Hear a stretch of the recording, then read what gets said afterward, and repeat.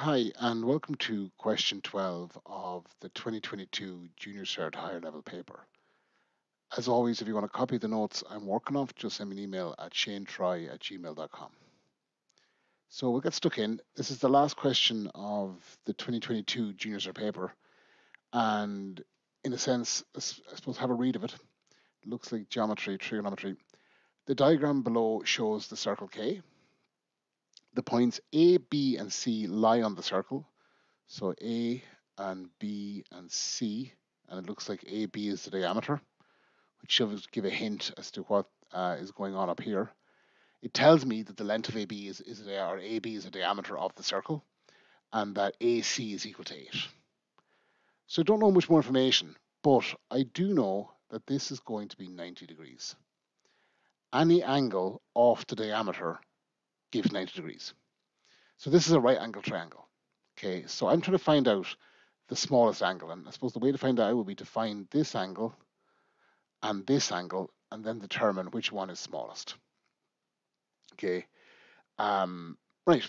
So I suppose they give me here the area of the circle is equal to um, 25 pi centimeter squared. Now I know the area of a circle, okay, is equal to pi r squared. And this is a common thing in maths. Like if, if you can see those two statements, these two things are equal. So why aren't these two? And, and they are, okay? So we can equate them and write them equal to each other. Now straight away I see pi there, because I can divide by pi, it'll cancel that. If I do it one side, I can do it both.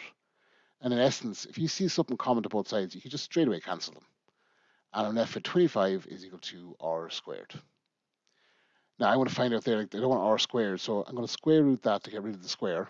If I do it one side, I got to do it both, and I end up with r is equal to 5.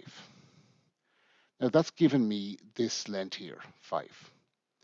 But if I can follow on, if that's the radius, well then so is this. So that whole length there is 10. Now I'm going to try find um, one of the angles. And I suppose it doesn't matter which one I do. Um, I'm going to find this one first, okay? Now, if that's the angle I'm trying to find, that makes this the opposite side. Okay, I'm going to try to use the trigonometric ratios. This is the hypotenuse, okay, and this would be the adjacent. So I'm going to try sine, okay, I suppose the three trigonometric rules I could use are sine of an angle is equal to opposite over hypotenuse, cos of an angle is equal to the adjacent over hypotenuse, and tan of an angle uh, is equal to opposite over adjacent. But I don't know the angle, but I do know what the opposite is. It's 8, and I do know the hypotenuse is 10. So the sine of some angle is equal to 0.8.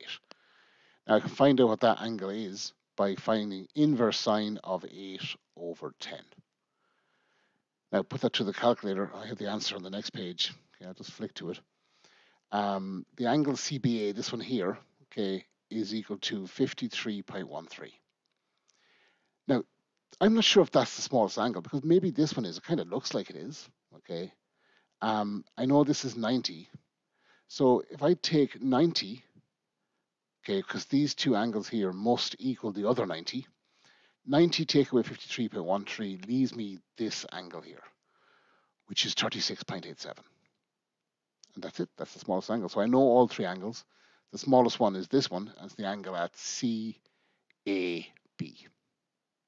And that's it. Job done.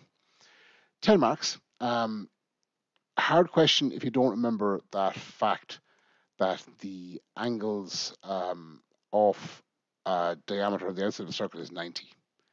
Um, but you could have got to the attempt by just trying to find what the radius is. Okay, like why are they telling you the area if it's not useful? And that's where this equating against the area formula strategy would come into play. Right, so that's the end of question um, 12. So as always, if you want to copy these notes, just send me an email at shanetroy at gmail.com. And if you're sitting the 2023 juniors or higher level, best of luck.